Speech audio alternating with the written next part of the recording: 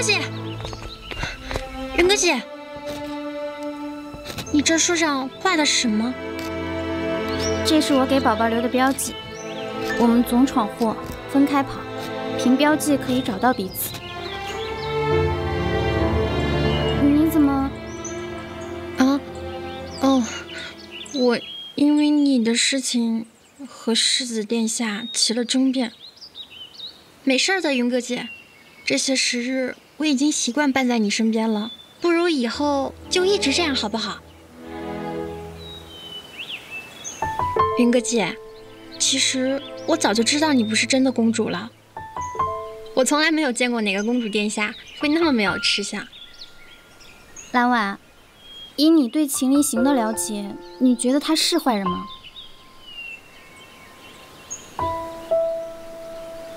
不是，世子殿下虽然行事狠辣，但他绝技不会杀害无辜。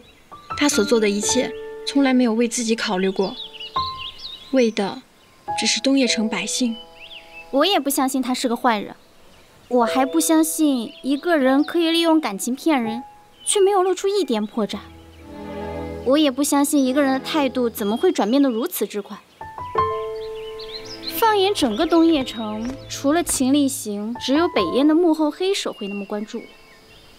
蓝婉，你是怎么知道我在这儿的？如果你是北燕的人，那我现在应该已经死了。那秦立行让你来找我是为什么呢？是为了让我替他顶罪。那为什么是你来，而不是乾元司的人来呢？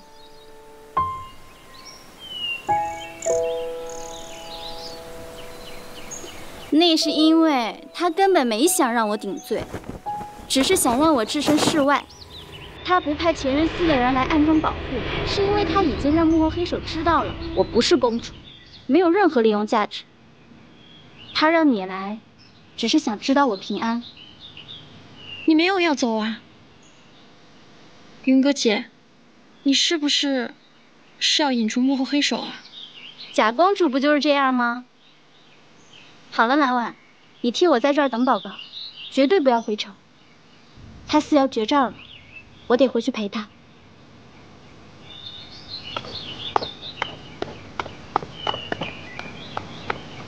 殿下，你果真没有看错人。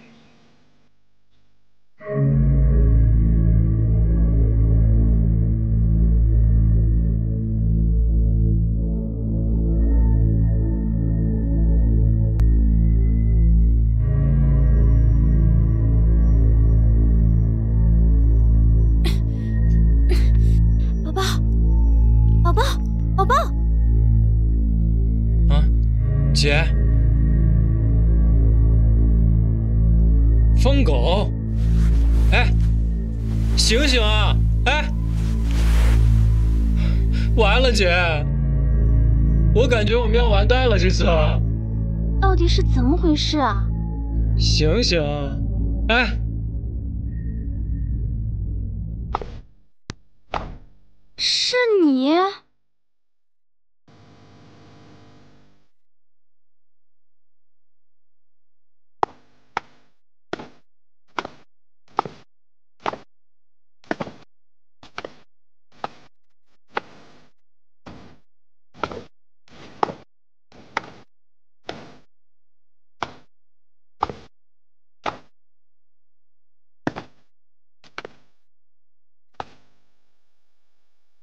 出来吧。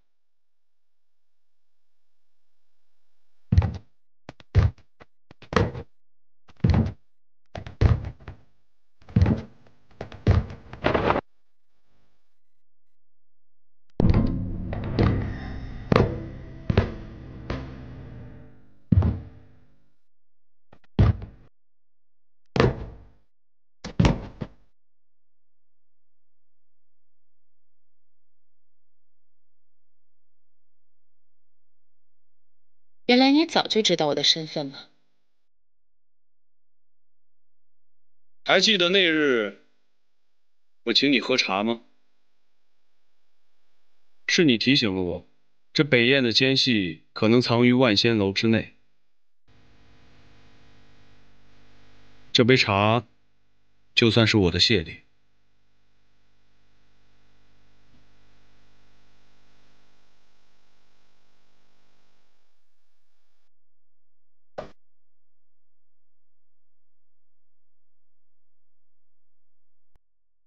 你手上的伤，除了长期习武，还有长期练琴才会导致。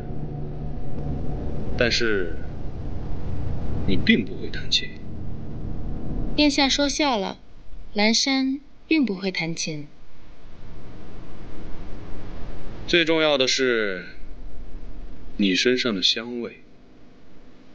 世子殿下，公主殿下。你身上的味道好香啊！我曾派人调查过，你身上的香薰成分是一种源西独有的草药研制而成的。这样一来，你的身份也就不言而喻了。你很聪明，知道将朱玉这个替罪羊给顶出来。让我以为万仙楼是安全的，然后再在开阁之日行刺于你。既然你早就知道了，那你为什么不杀了我？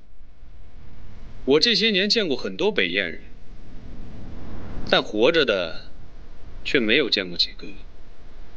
我这好不容易见到了一个，所以我想问问你。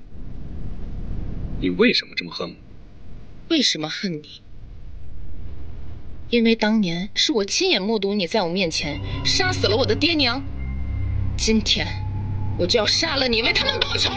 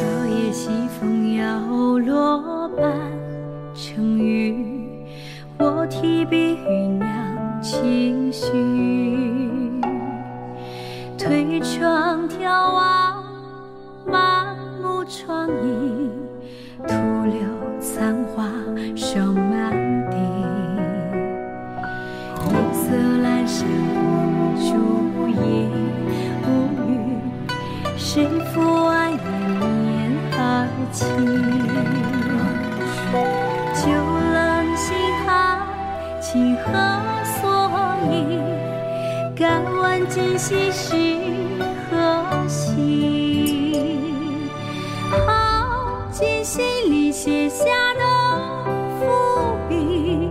被愁云散无尽折枝绿肥红瘦可念不可及怎知花期已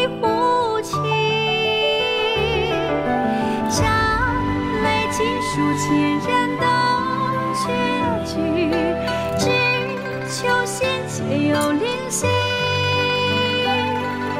且听寒枝长叹息我像昙花遥遥无期雨飞红瘦可念不可及怎知花期